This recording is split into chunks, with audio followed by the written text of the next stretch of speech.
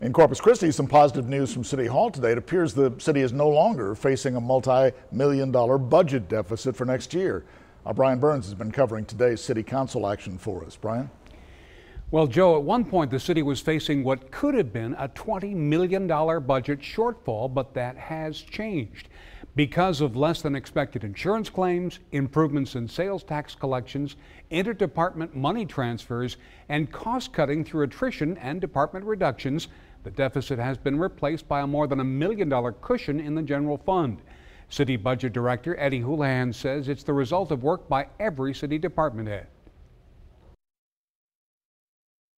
At the last council workshop, we presented a plan to the city council to move forward, and they uh, didn't object to that plan, so we are moved forward. We don't have a deficit anymore. We, we, uh, uh, we have about a million five in reductions in the general fund. Houlihan says the last property tax appraisal projected increase was just under 3%. He expects the appraisals to exceed that projection. Now, the final tax approval figures are due to be presented to council on July 25th. And the good news is none of those uh, slashing reductions in the city departments they were worried about at the beginning of the year. Joe McKenzie?